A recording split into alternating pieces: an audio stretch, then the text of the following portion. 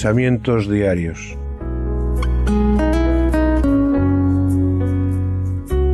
Sencillas pero profundas reflexiones para cada día de nuestras vidas.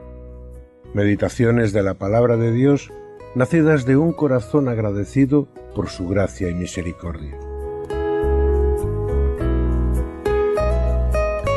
Pensamientos diarios.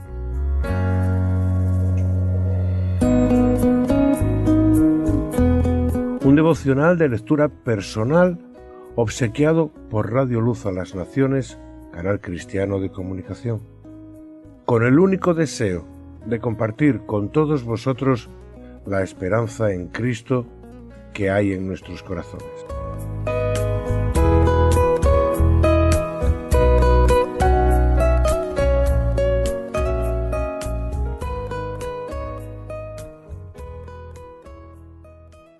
¿Verdad o sinceridad?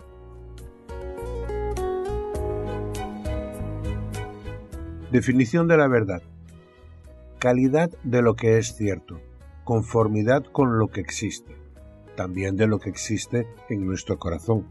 Definición de la sinceridad. Buena fe. Expresar el pensamiento sin disfrazarlo. Hablar con el acento de la verdad. Estas son definiciones del diccionario de la Real Academia de la Lengua.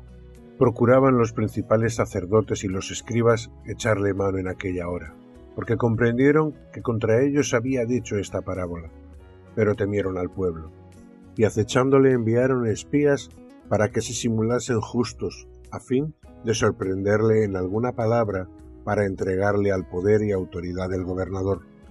Y le preguntaron diciendo, Maestro, Sabemos que dices y enseñas rectamente, y que no haces acepción de personas, sino que enseñas el camino de Dios con verdad.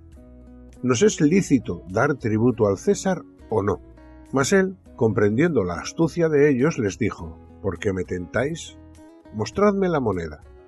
¿De quién tiene la imagen y la inscripción? Y respondiendo le dijeron, de César. Entonces les dijo, pues dad al César lo que es del César y a Dios lo que es de Dios. Evangelio de Lucas, capítulo 20, versos 19 al 25. Estos se acercaron a Jesús sin retorcer la verdad, pero sus intenciones sí que estaban torcidas. Aunque en todo momento dijeron una verdad tras otra, en ningún momento tuvieron la intención de ser sinceros con él. Y así convirtieron la luz de la verdad en tinieblas.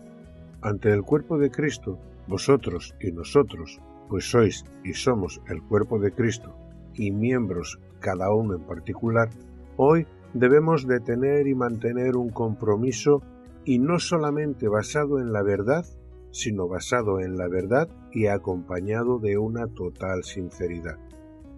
Todos nos consideramos miembros de la Iglesia, ¿cierto? Pero ¿qué ocurre con eso de contigo sí, pero con este no?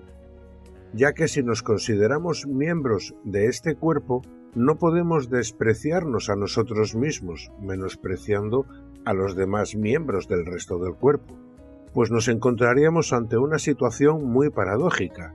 La verdad que predicamos con nuestra boca, la convertimos en mentira con nuestra propia vida, impidiendo así, con nuestro propio testimonio, que otros deseen pertenecer al cuerpo del que nosotros decimos formar parte, pero del cual, al final, despreciamos a algunos miembros.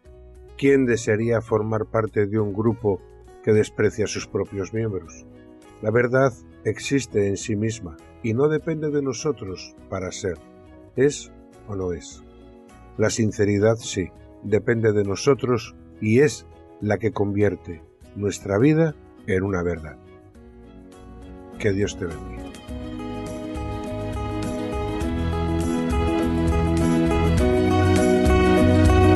Pensamientos diarios.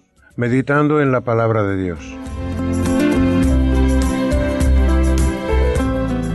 Santificad a Dios el Señor en vuestros corazones, y estad siempre preparados para presentar defensa con mansedumbre y reverencia ante todo el que demande razón de la esperanza que hay en vosotros.